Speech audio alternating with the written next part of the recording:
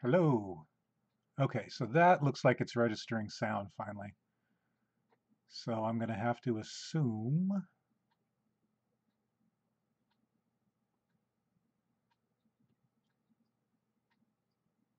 that, uh, oops, what's going on here? This is how rookies do their stuff. Advanced audio properties. Hello. Okay. So I guess uh, I don't um, don't anticipate anybody actually popping on here and checking this out.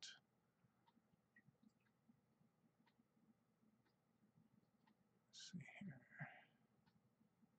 Successfully copied. As I have very few viewers, which is fine for now. Uh, anyway, I think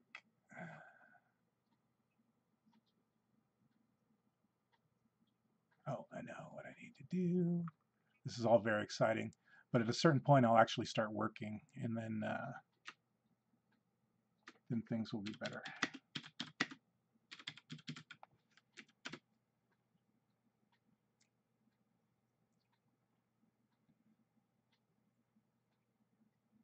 Can't even, the funny part is, is the meme for Old Man Yells at Cloud is so popular that I can't even find my own channel when I do search stuff. Oh, I'm live now. Excellent. All right, so let's turn this on.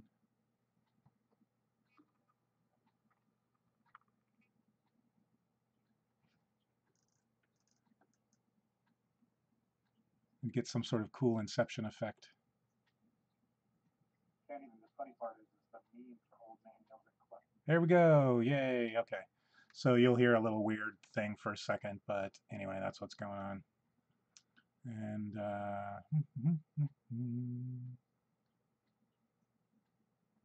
it's not going to help. So now I got to find one more thing. All right, anyway. This is, I'm sure, very exciting for most of you.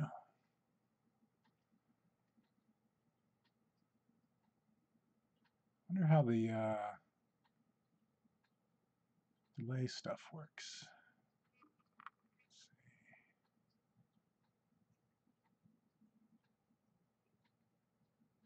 As you can see, uh, the stuff that's not me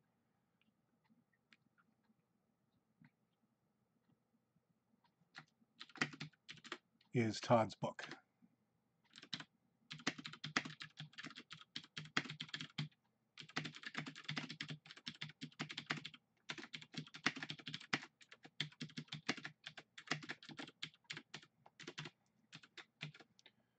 Hopefully the link works. There we go.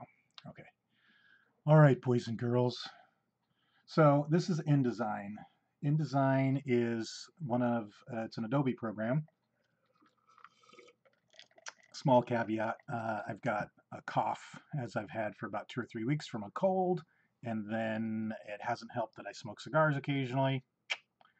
Uh, don't do that at home, kids. Although I just got to check the YouTube box that says my content is not for children. So I shouldn't be telling children not to smoke because theoretically I'm not making content for children. So children, do what you want.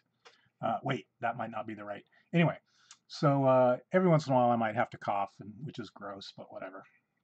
So this is InDesign.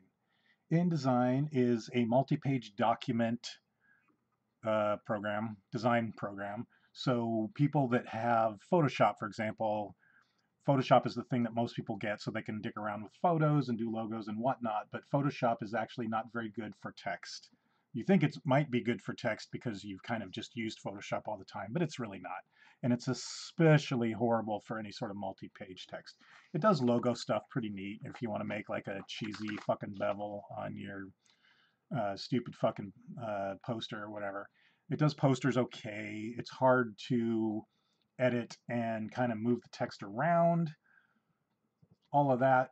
But it does it because Adobe wants to make sure that all of its programs kind of do all of the things in that respect. So Illustrator, for example, is better at text, and it's still not very great at it, although they've got an, the ability to set up multiple art boards now so that you can create like um, branding, which would be like your business card and then like a poster and then like a postcard or whatever, and be able to kind of drag the same logo around and all that. This sets aside esoteric arguments about uh, fucking vector graphics versus raster graphics and all the rest of that. That's not what that's not what this means. So InDesign is the thing that they set up to design multi-page documents. Uh, originally books, but now you can do multi-page PDFs. InDesign even allows you to do PDFs, symbol it S, uh, PDFs that uh, are interactive. So you could create a multi-page, I could create this book and we could create a PDF version of it that had links that people could click on and it would go places and that would be cool. I don't think we're going to do that. Right now it's just print based. Um, InDesign is not the hardest Adobe product to learn how to use, but it's not just like sit down and do shit in it and you're good to go kind of thing. So what you're looking at here is a bunch of different tool menus, and then here is our thumbnails. So this is thumbnails of the book. And if I squeeze that out, then we can see multiple thumbnails, which can be useful. It's actually fairly useful for uh, review purposes. When Todd and I talk on the telly, aka Skype, and a lot of times we'll, uh, there we go, we'll have the thumbnails opened. Thumbnails behave differently where you can't like move individual items around. You can just kind of click on it or whatever. This is the work table. These are the spreads for the book. This is a bunch of stuff. All these lines matter for design purposes when it's done. Um, oops, there we go. That's more like what it'll look like. Like that's just a regular spread. And I don't need all those thumbnails open, so I'm going to do that, right? So spread, another spread, which in this case, double page art. Uh, whoops, there we go. All right. So the idea of this, you also have different, uh, so initially you have different settings. You, you, you saw a piece of art back there that looked kind of pixely, and this stuff actually looks a little blurry and all that. What happens is sometimes we can get sort of low-res pieces of art, but what uh, you normally do is you get up here into your display performance and you have it set on typical so that you use less memory. I could even do fast display, which does that, which would be for manipulating text for the most part in large bulky things, but that's not super helpful for figuring out like, you know, what the image, in, a, in an art book, this isn't the most helpful setting. So we're going to go here. So he wanted to do a book that featured a little bit of his older stuff. He's had one other art book come out before, but was primarily the newer things. So scroll up here on the old thing. Uh, title page here, and then as you go along, when we start out, we've got uh, testimonials from people. We've got early artwork, and then it is roughly chronological for quite a while. This is earlier D&D stuff. We start in here. Come on, sucker. You can see some D&D concept stuff. There's a big owl bear. There's some dragons. He did a lot of dragon uh, design for Dungeons and Dragons. There's some Dungeons and Dragons characters. Uh, classic uh, Ragnar, Ragnar or something, which was the fighter guy from third edition. There's a beholder. Then we get into some paperback covers. This was a series of covers that he did with a uh, drow protagonist. Um, Drow's a dark elf, basically. And then Drizzt, I think, is the name of the drow elf that's very kind of popular in fantasy fiction stuff. He's got two swords and a big old Black Panther or some such this is this section. So this talks about his swords. This talk, and then there's there was a lot of sort of wraparound book covers. So a lot of those spreads are throughout here. And then we get into a big section where it's all just stuff. Spread after spread and all that. Anyway, so book design is an interesting cat. You basically create what's called a grid, and you can find stuff on the interwebs all over the place for that as far as uh, what grids are and what they do, but they're basically a, a, template that you sort of plug your stuff into. InDesign allows you to create what's called a master page. So this was the first typical master page, and it essentially is a piece of texture that Todd created for a background. And then we've got our little footers here, Found Worlds, Todd Lockwood. And uh, if you want to find this Kickstarter, by the way, Found Worlds, Todd Lockwood, Kickstarter into Google should make it pop up pretty easily. Uh, I could theoretically, I guess, put a link somewhere down in the description of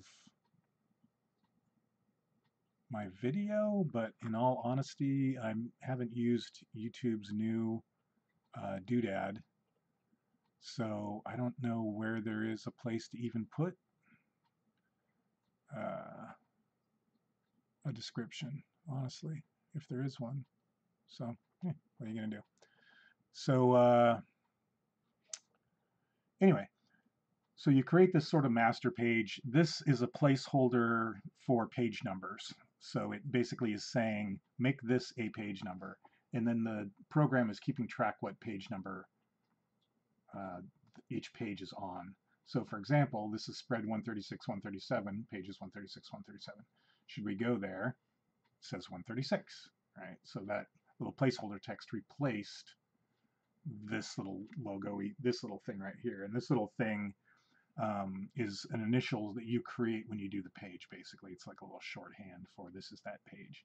So you can create this as a master page, and then you can create uh, a grid or lines where things always appear.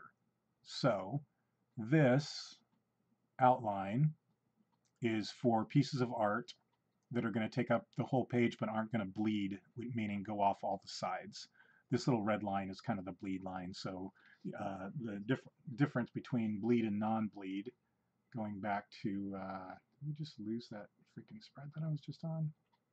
Just disappeared for fun. All right, cool. So let's go to the hair. So this is full bleed, meaning that it goes clear to the gutter, which is this point in, these are going to be two pages like this, like the spread of a book, uh, this way, I guess. Um, so this is full bleed, meaning it goes off the edges.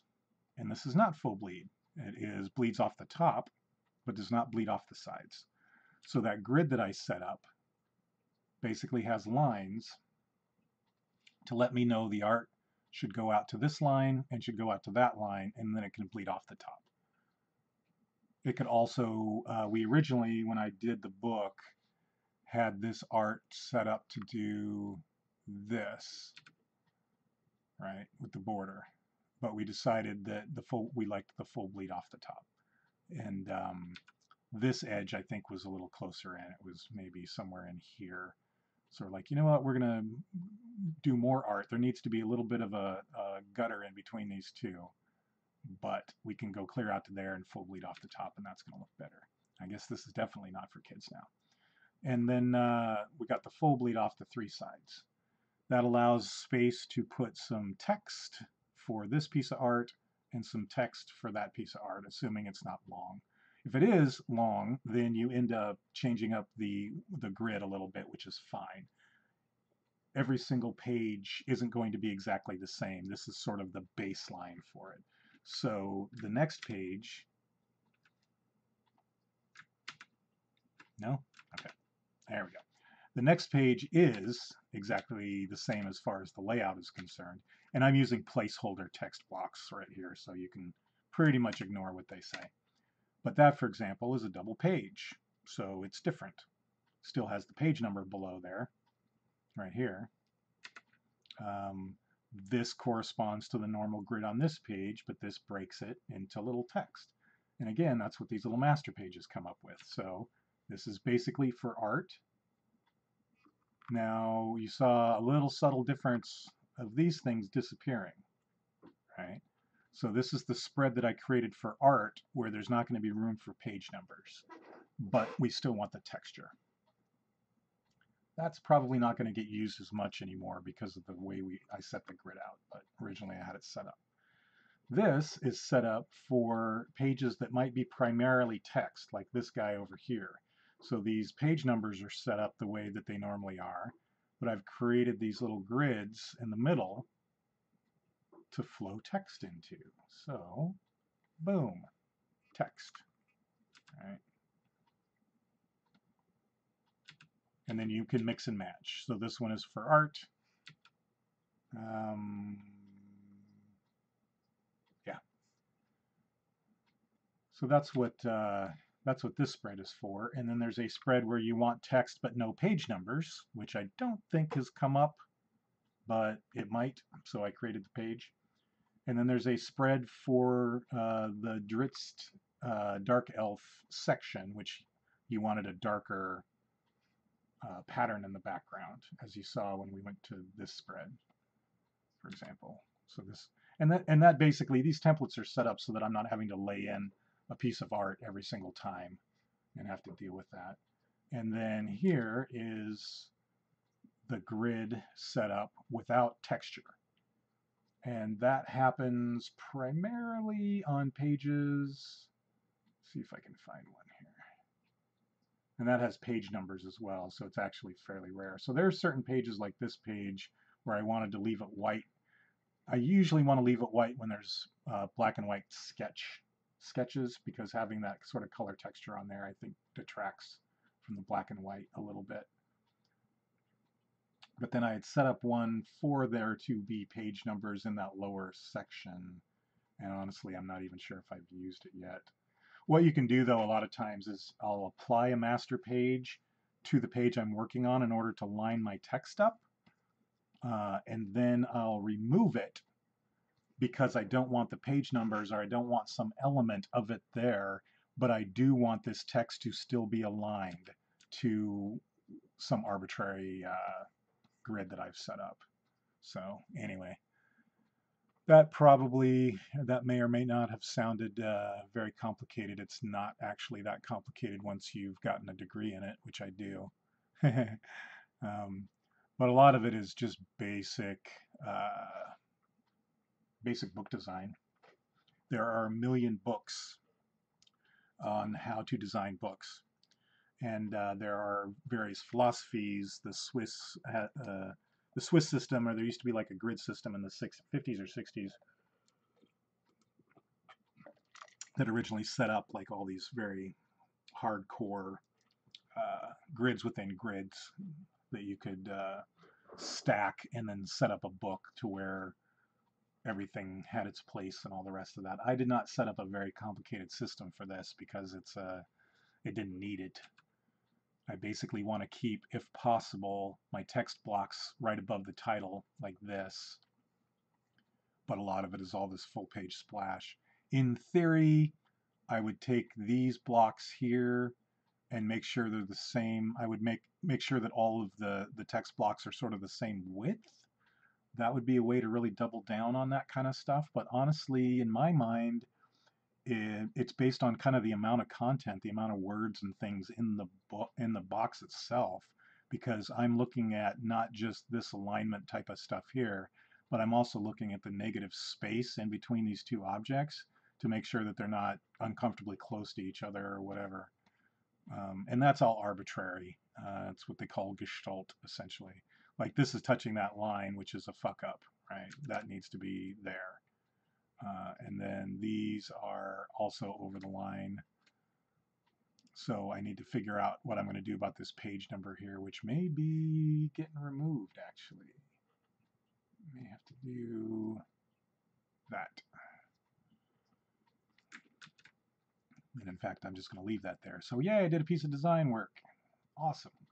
And then here, same sort of thing. Have stuff lined up over there, preferable. It does not preclude floating things. For example, here's a good example for people who want to learn how to design books from a YouTube video of me working designing books. Um, this, based on what I've been doing, in theory, should come down to here. That's where most of them are, or that's you know, where a lot of them are, and that would be that would be consistent with the text block itself, but that's too specific. I'm designing a book. I'm not designing a book on how to keep text blocks consistent. So the idea of this text is completely unconnected to the item that it's about, right? So that's why that got moved up to there. It's still in a line with this. That's a compromise that's easy to make. Uh, and in this case, this sort of thing sort of connects together as well. I could have maybe, you know, stuck it over here where it comes down and sort of does that. But then when you come down here, you're having to kind of come back to here. It's all a matter of like where your eye's being led and all that. So having this here is still sort of true to the grid that I set up. But now this is connected to that obviously. So people are like, oh, Silver Dragon is this thing.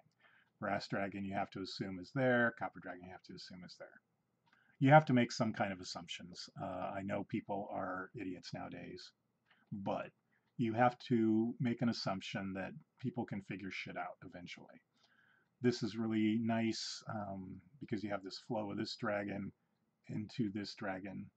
So those were definitely cho chosen, chosed. These were chose chosen to be on the same page over each other by me because they looked good together. So here's another thing actually, and I haven't fully decided because you can always go back and change things. As you can see, this is aligned this direction, right? I did that because I wanted to do that, and that's fine. However, that's aligned to there. And uh, I just realized that um, there's a couple of them like that. So this is aligned to there. Oh, excuse me.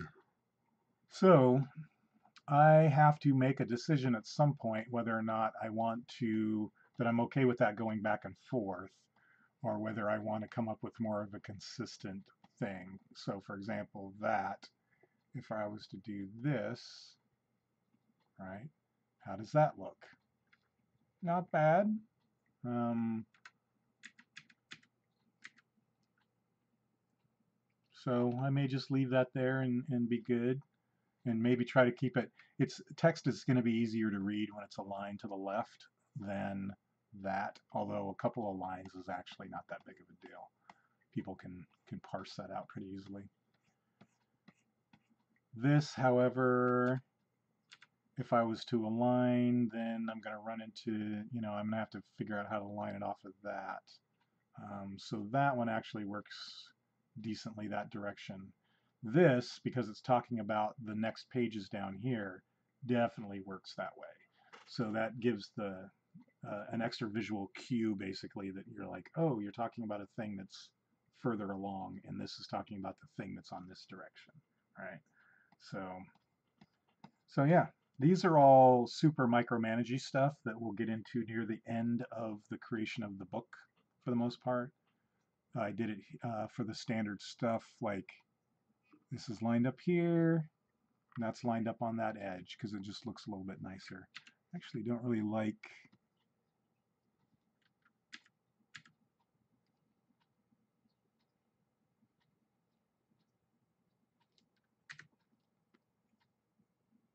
Yeah.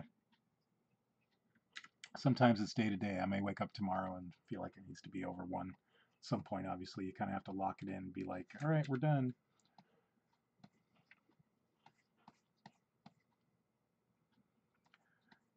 So what's going on right now is Todd and I, yeah, see, I just, just didn't see that straight on enough, so I'm going to have to go through and adjust a lot of those probably.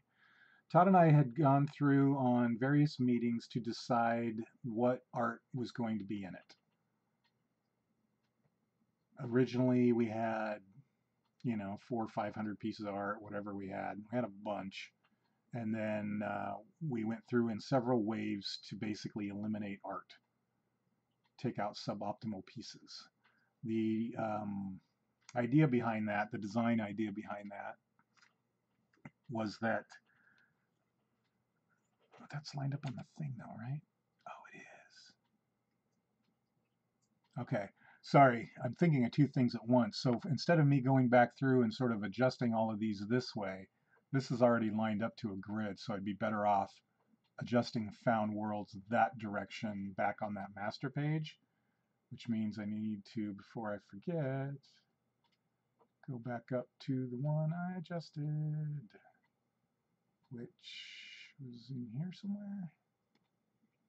In there. In there.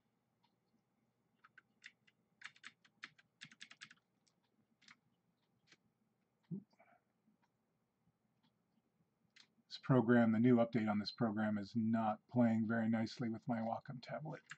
Adobe and Microsoft seem to be intent. Well, I should say it's it's pro it's most likely Microsoft's fault with their stupid fucking uh, ink ink thing that they have that they insist on sticking on PCs, which basically fucks up all my Wacom settings because I use a tablet because professional. Um, anyway, I'll go back and find that at some other point. So when I come up here, this is the master page, and I look at this and I realize like, oh yeah, that actually probably needs to be over a little bit, like one nudge. And I just nudged it, you saw it flicker over here because it was updating literally every page that that master page was applied upon. So anyway, so we went through and made a whole bunch of decisions regarding, is that the one? I think that was the one, because that was pretty far off. We made a whole bunch of decisions regarding uh, which pieces of art were going to go into the book. And we had an opportunity to have more art.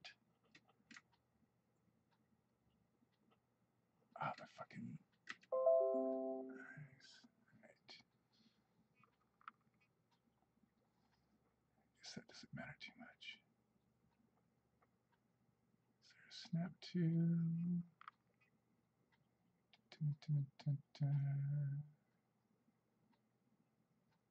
We would have had, uh, we could have had a whole bunch of more, a whole bunch of art, or we could have had less art. There we go. Uh, but larger. Perfect. Snap to guide. All right. Um, and I uh, we I wanted and we both ended up wanting. Um, that makes it sound like I had to talk him into something. I really didn't. We both wanted less art, but larger. So that's what sort of led to the grid system that we have where we went through and just cut down a whole bunch of art and then tried to get a lot of cases where we either just have a spread or one or two pieces of art on either side. That's going to be obnoxious. Uh,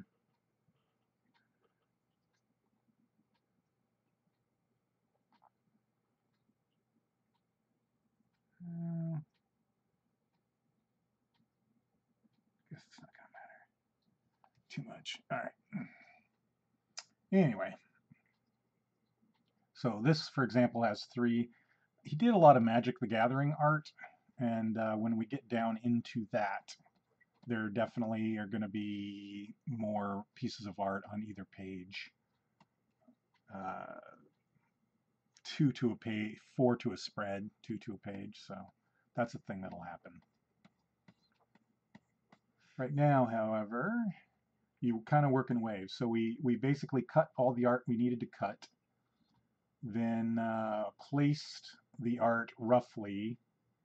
So for example, when you go down here into here, you can see it's just kind of chaos. It's just pieces of art thrown on here. These are small. Uh, the, everything is kind of art. That's that should be full bleed, and it's not, right?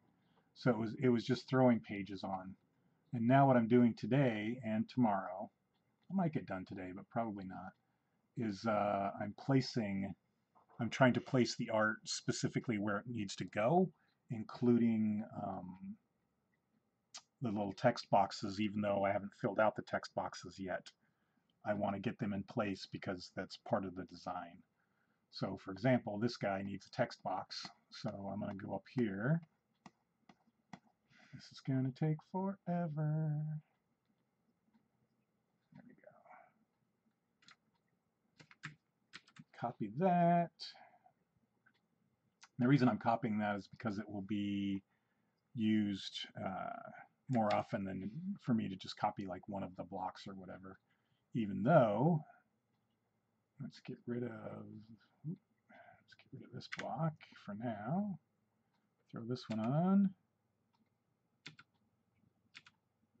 All right, so here's a good example of I do not have a grid uh, applied to this right now. It's basically just blank.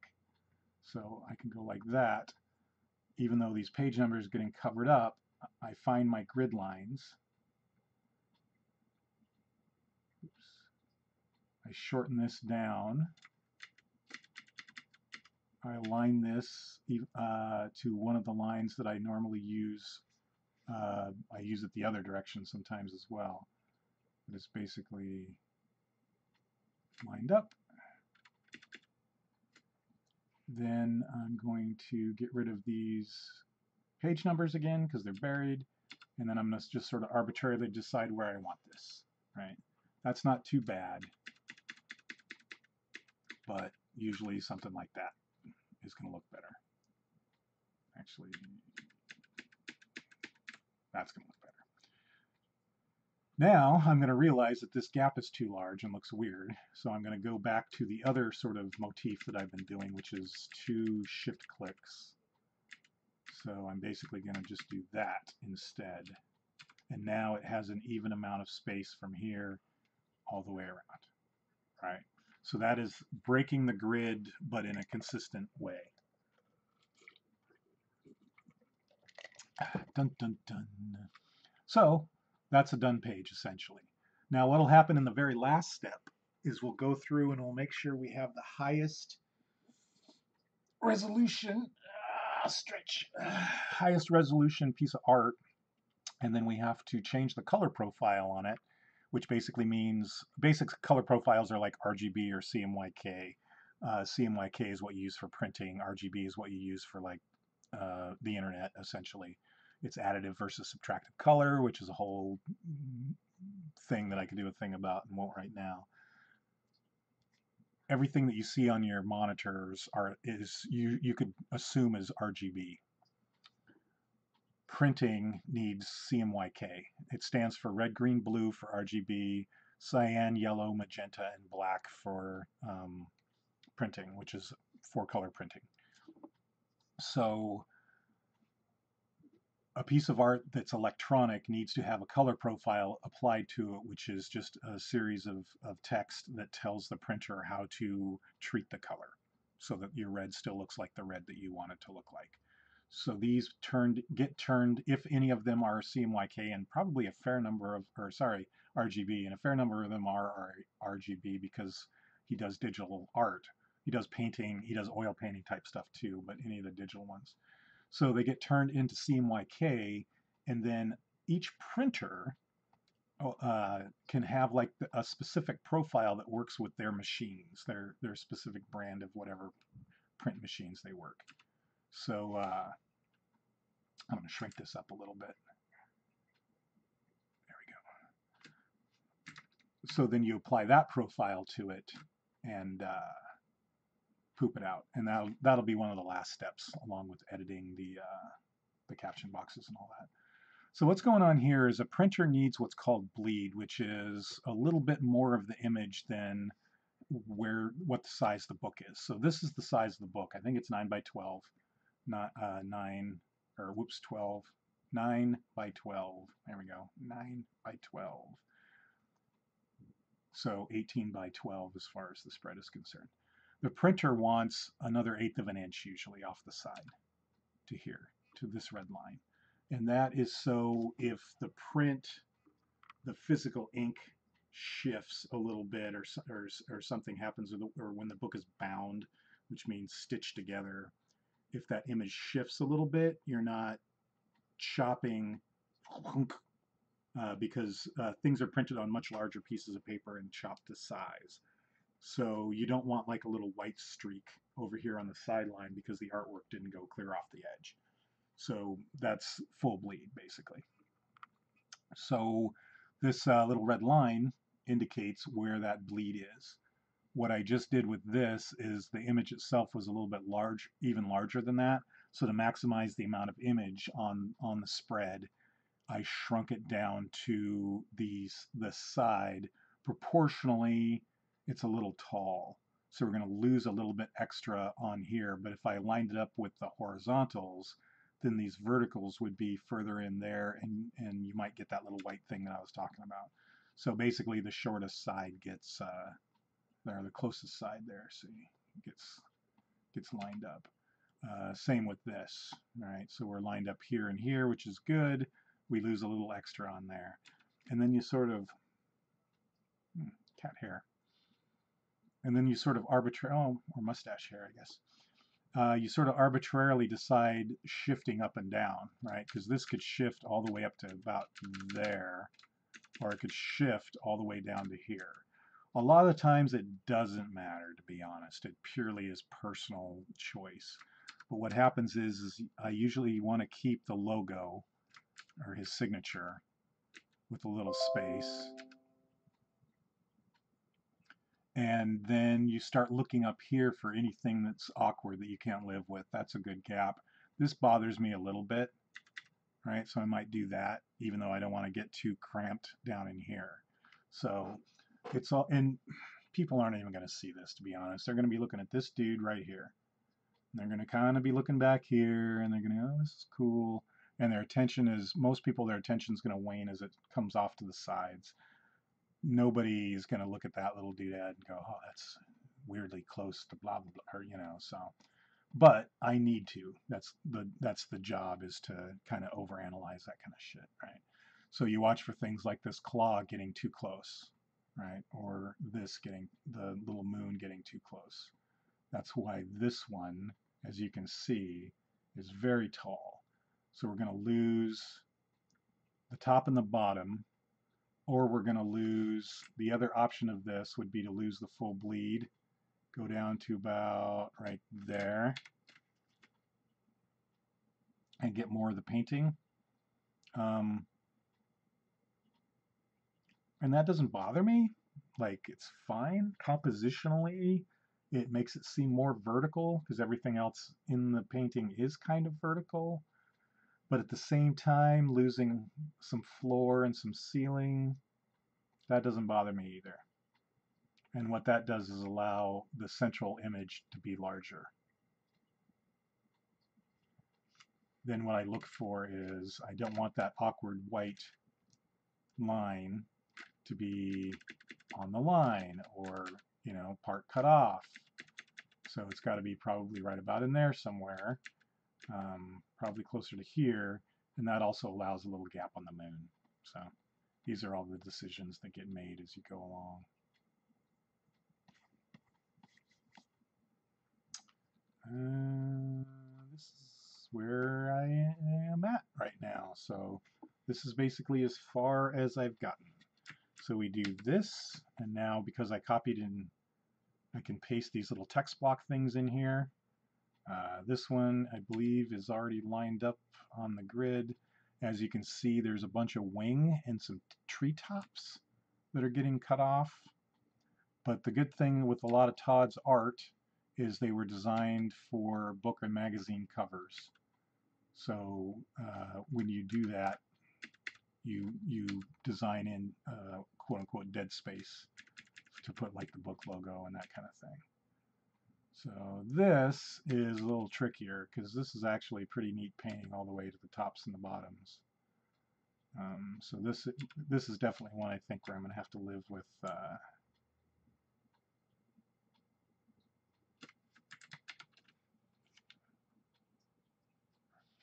I'm going to have to live with some extra white space around it in order to get more of the painting in. And the other thing that happens is like you got to be flexible because Todd can come along and be like, "Hey, I want this." Like you, you need to agree on basic things as you go along, and you're just sort of like redoing, redoing work. You don't want to redo work. He doesn't want me to redo work because he's paying me, and if I have to redo work, then I'm going to end up getting paid more. Um, so the basics of the thing we have agreed upon but he could come along and say, I don't really like the gap in this. Go ahead and make it like the rest of them, right? I'm actually looking at it and seeing that it's asymmetrical and not really loving that. Um, however,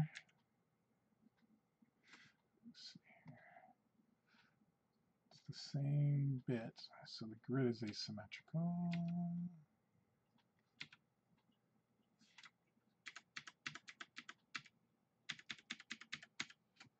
Six.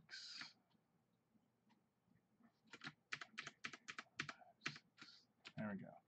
So now they are symmetrical, and I'm losing a little off this side. So is there anything on either side of this that's interesting enough to keep or to slide a little bit? And you want to kind of default to the artist's composition if possible. So either side of this painting is essentially fine to be dead, but I want to go as far as the bleed so we still get that full bleed. But now the painting is sort of centered up again, instead of being slightly asymmetrical off to one side, right? So that's more of what Todd intended. Because when he's painting this thing, I mean, he's making these decisions where this chick is, right? And she's got to be in a certain spot this way in order for the things to work, right? And so you get this tree coming down to here, and you get this thing kind of coming down to here, and and this kind of coming down to here, and then all of this doing this kind of stuff, right? And so for me to fucking offset that too much, um, it's it's going to work. It's still going to kind of bring you, but instead of being brought to the center of a thing, uh, you can't see what my hand is doing. And instead of being brought to the center of a thing, you're maybe bring being brought to like the side of a thing in a well, and so that's no good. Now I'm going to go back up here because I'm okay with what I just did, and I'm going to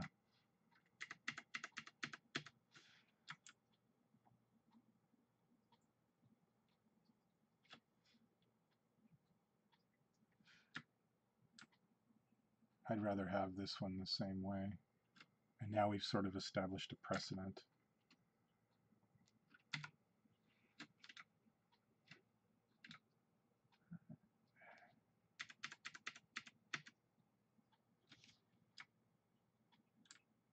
Hold still, buddy.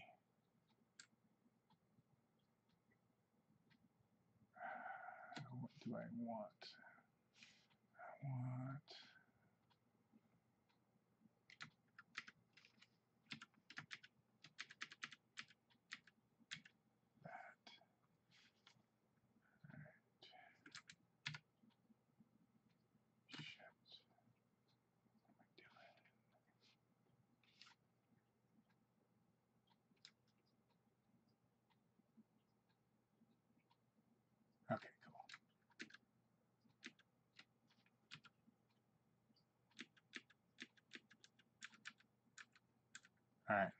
So by being okay with this, I've just recovered a lot more of this painting and basically created a more vertical uh,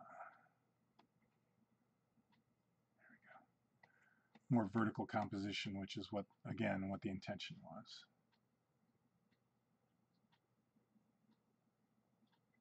Mm-hmm.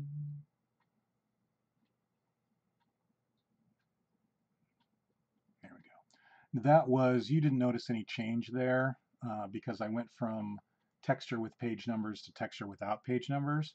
You can't, you're not going to be able to see this page number down here, so I try to change it to the texture without page number just in case. If something weird happens with the printer, sometimes transparencies get weird and it would so what would happen is it would try to print those page numbers and then it would print this whole thing over the top. So now you've got some page numbers and like a footer layered underneath this and then if the color is weird or something happens or whatever uh, I don't know it just it bugs me I want to make sure that the shit is clean as, as possible because I, I want to take as many things out of the you want to control as much as you can control basically. And I don't want some weird thing happening with the printer where all of a sudden there's like a ghostly fucking page number under there or whatever.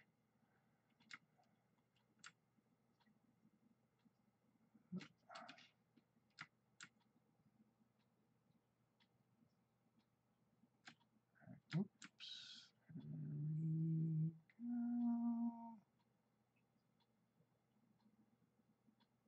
So that was a case where I thought the side ones were what I was going to, but I'm actually got to go to the top and bottom. All right, cool. And then shortcut key to blow that up.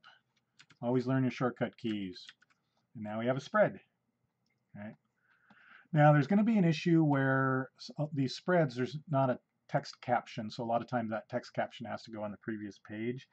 So a lot of this layout, there's going to be another wave of this layout being adjusted. So what the goal is this time is to get all this stuff in place like this, and then Todd and I will go back through, and Todd will be like, oh, maybe this one can get shrunk up and I want this one bigger. That's the most pain in the assery one, because that means I have to literally like switch both pieces of art or whatever. Uh, but that's what you got to do.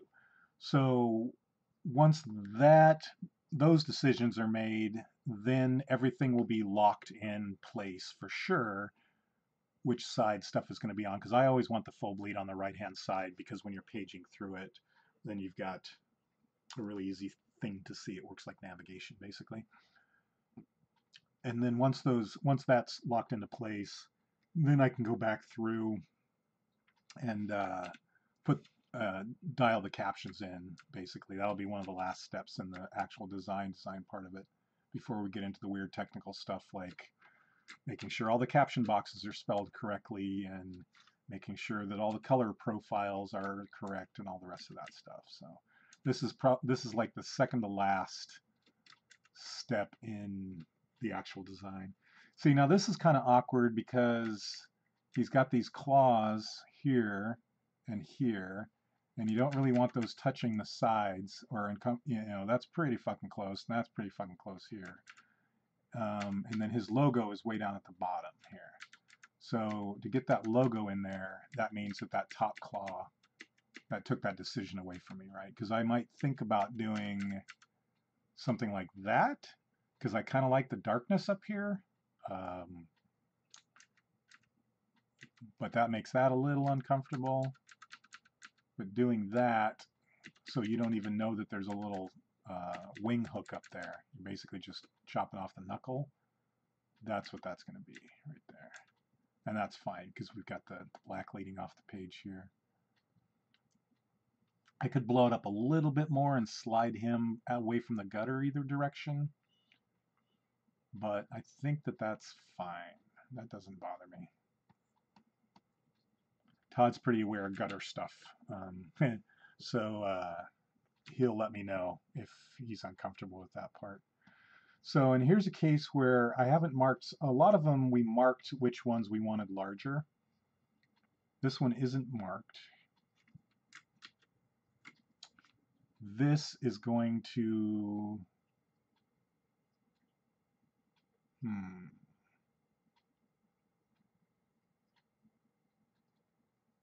Yeah, this this is going to look better full page. I'm trying to think proportionally too, like what fits into the space a little better.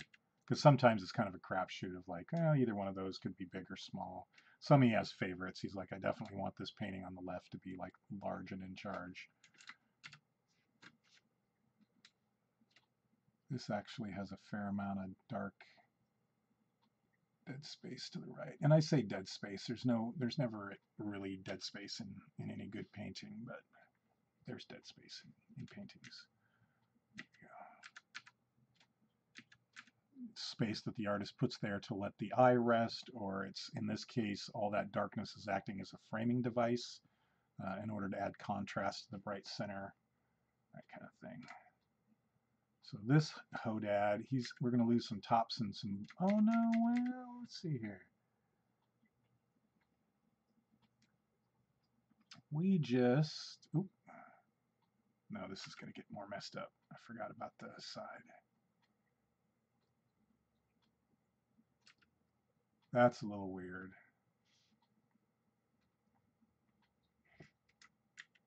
Losing so much of that side.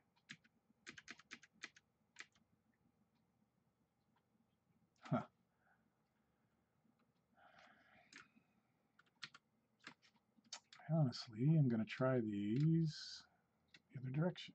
Oops. See what this looks like as a full Fortunately, this may have to, I'm already starting to think of breaking the, the grid up even more and having this thing bounce across the, the aisle. Oh yeah, it's way too much.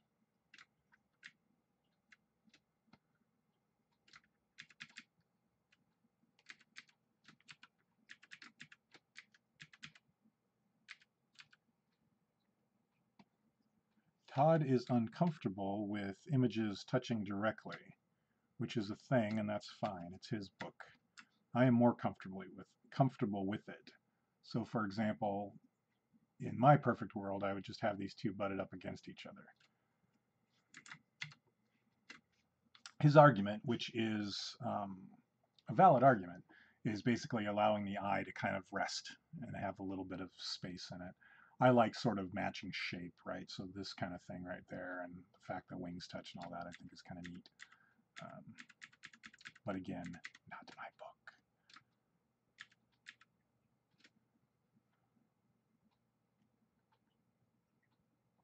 So, all right.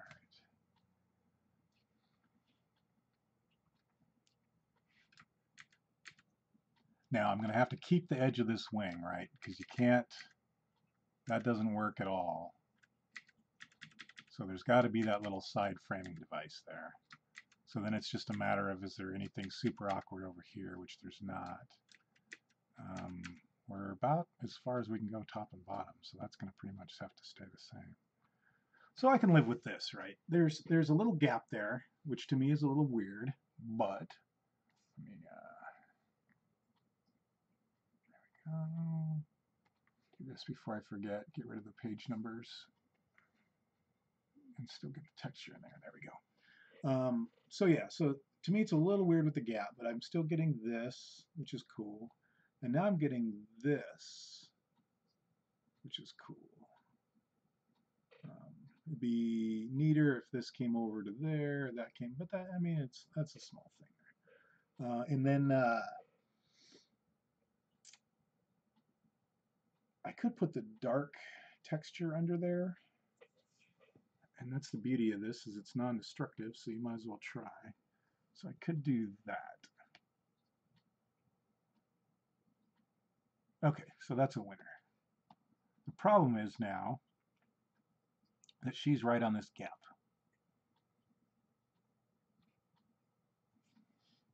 And to get her off that gap, she'd have to either be clear over here or clear over here. That dragon almost coming off the page. But he's still on the page. Or this would have to go onto this back side. And I guarantee you that this one on this side of the image is not going to look as good. Uh, do I guarantee that?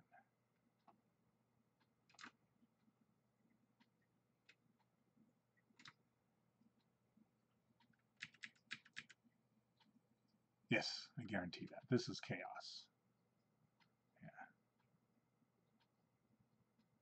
Everything, everything about that made my eyes hurt. Okay, so let's do, or we just have to be okay with her on the fucking uh, thing, but we're not because she's like the main person. She's literally like the focus of the, of the thing. So we got to go to about there, which means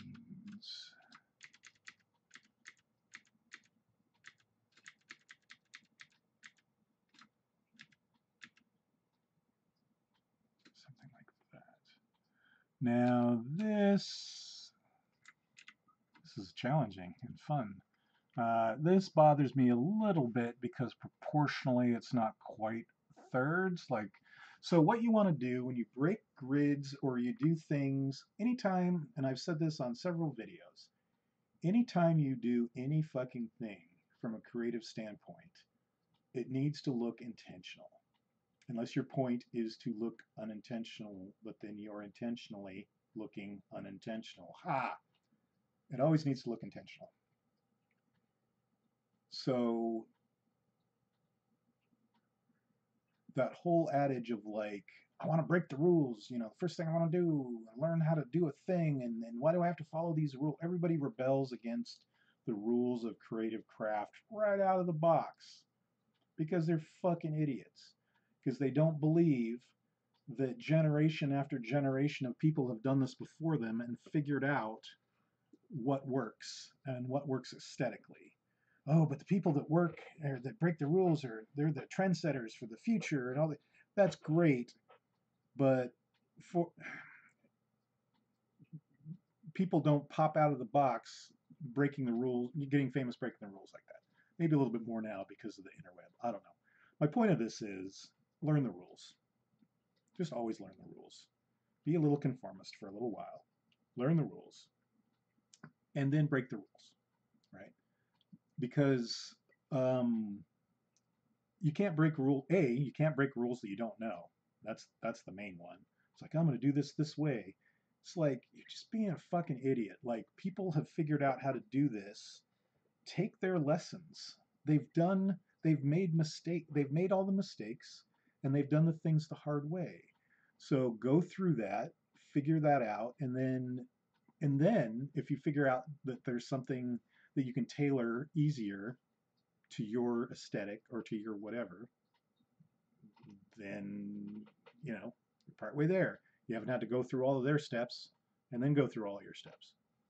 Anyway, point of this, I have forgotten, except that that is a little awkward to me because uh, rule of thirds guy.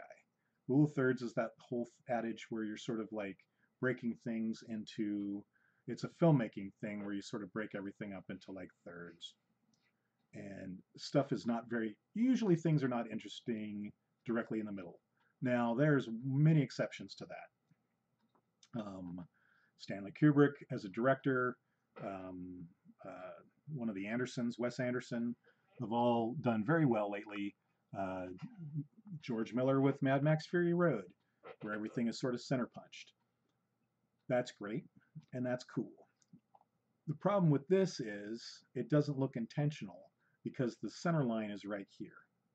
That's my point it looks like it's kind of awkwardly fucked up. So either somewhere over in here where you've literally got kind of a, a thirds, especially because you're working with a grid in uh, uh this book specifically is kind of old-fashioned in the in the respect of like conforming to a grid. I don't have text splashed on all fucking weird angles across the thing. He wants it to look elegant and and classic, basically.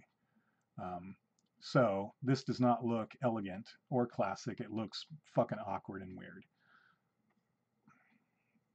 So in reality, where I had it, honestly, or somewhere right in here looks good, but then she's all fucked up. Uh, so what I'm going to do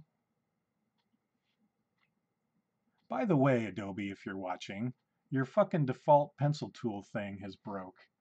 Um, so normally, see, what the fuck was that? You saw me literally walk over and choose this with my pencil, and then it went, it went that, did that for some reason, right? Like, what the fuck? And it didn't, well, it didn't stay selected because I didn't, I don't have stay selected on. So let's do that. All right.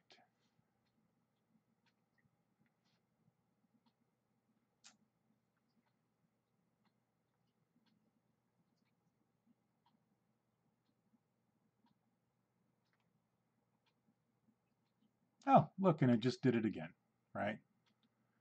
Fucking bullshit.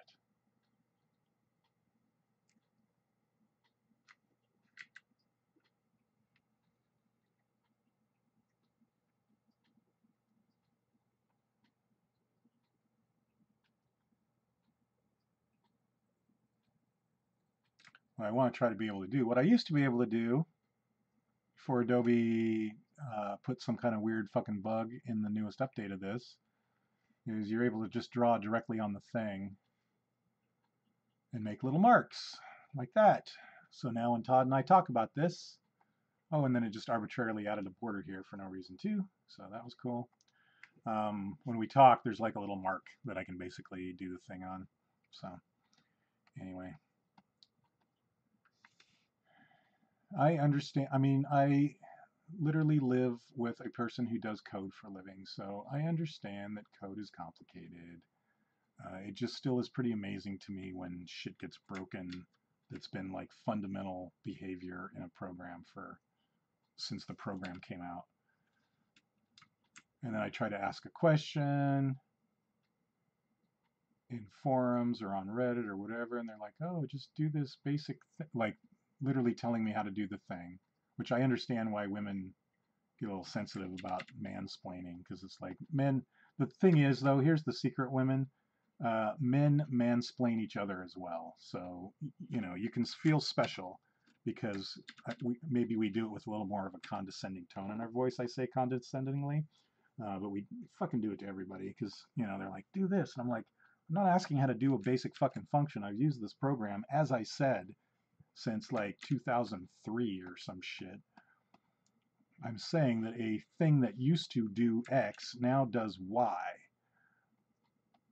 So that's sometimes a little frustrating, but I mean, that's forums in, you know, in general, right? All right, that is cool illustration. Although I like this little C thing here because uh, it makes it look like it says clockwood instead of lockwood.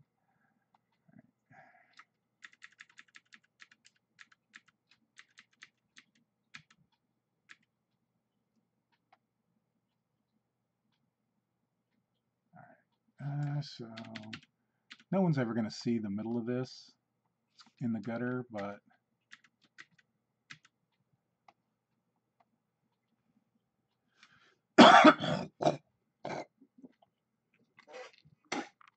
excuse me, and I know that was gross.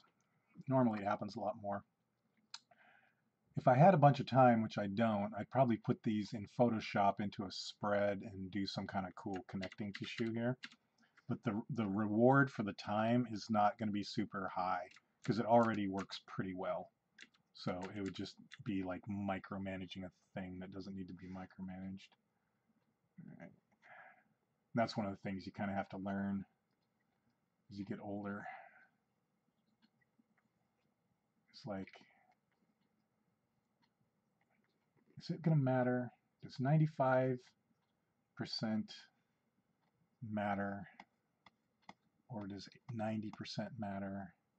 Everyone's like, oh, you got to try as hard as you can all the time. I get it. You want to do the best possible work you can. Oh, I see. That's right. But there is absolutely a time investment versus return. And the fact that most people, the va- who are you trying to please, right? The vast majority of people do not see that extra 110%. You don't see that 10%. You probably don't even see that 100%.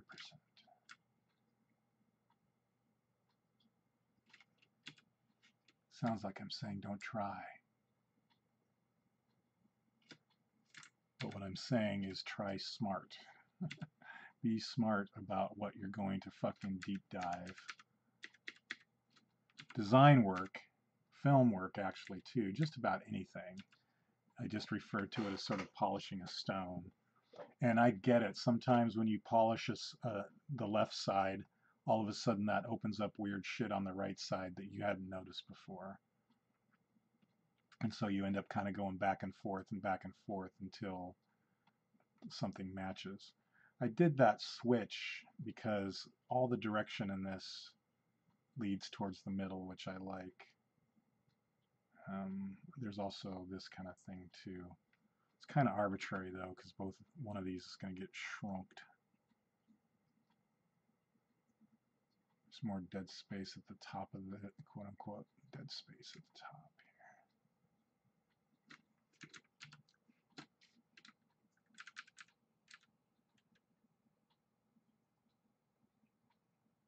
These both again are so good all the way up to the edge.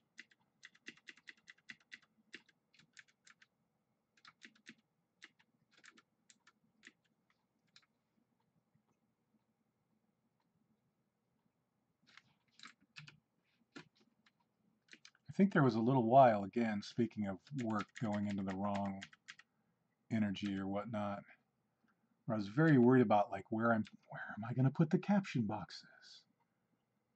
And it's like, you know what? This is an art book.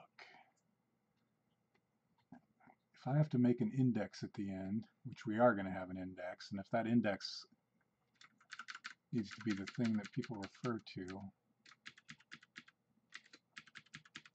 instead of normal caption boxes, then so be it.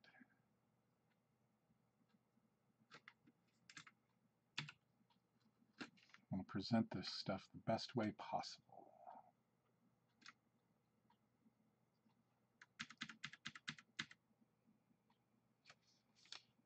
so let's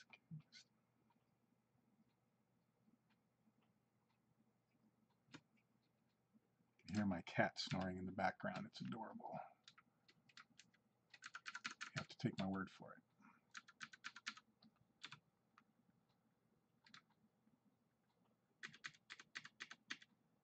She's had a full day of running around and sniffing things.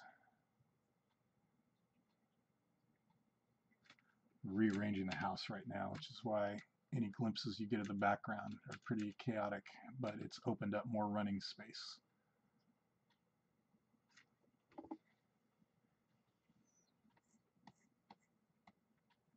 Yeah, this is just going to have to be a, another another grid. So what I'm going to do now, which I probably should have done about four back,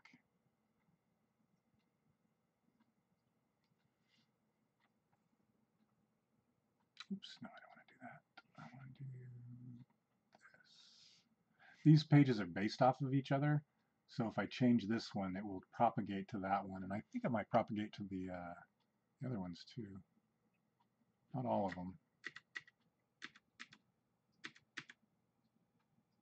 There we go. Not sure what this is here for, actually. Not sure that I've used it. Ah.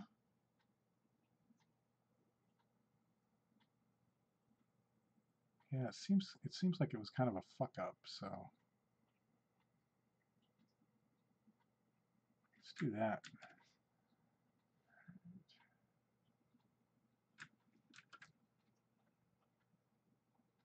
So that one's good. That one doesn't matter.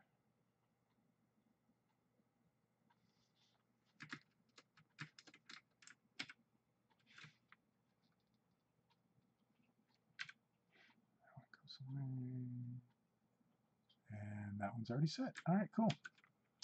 Done and done. Now I have a new grid. All right, cool. It is 3 o'clock. I've been blathering on here for quite some fucking time. Uh, and I'm going to go make a sandwich. And that'll be the end of this stream. Hopefully that was entertaining. If there are any of you on here uh, who, again, are interested in Todd's Kickstarter, I will put a link, although it's almost, I think there's about two days left on it. Uh, but I'll put the link up anyway because I think Kickstarter will have like a forwarding thing. So if, we, if you're seeing this like way past the Kickstarter and you want to buy the book, I think through the Kickstarter, you'll you'll be able to find the book somehow that way. Oh, we're over an hour. I just saw the little counter there. Um, if you've come here because of the Kickstarter and you want to hear me wax on poetically about a, a bunch of random shit, uh, check out the other videos and make sure to subscribe. At some point in the future, I'm going to try to start chopping these up and, and putting like little smaller increments of things. But honestly, I mean, I have a couple friends that just uh, or that just turn it on and just leave it in the background and uh, listen to me ramble on about stuff and or work about stuff or whatever. So anyway, thanks for watching and uh, take care. We'll see you next time. Are you sure you want to end your stream?